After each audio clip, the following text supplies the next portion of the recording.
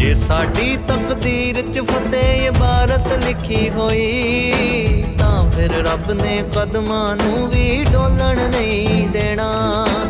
ਜੇ ਵੈਰੀ ਗੁਲਦਸਤਾ ਲੈ ਕੇ ਨਾ ਆਇਆ, ਤਾਂ ਫਿਰ ਰੱਬ ਨੇ ਵੀ ਕਿਲੇ ਦਾ ਬੂਹਾ ਖੋਲਣ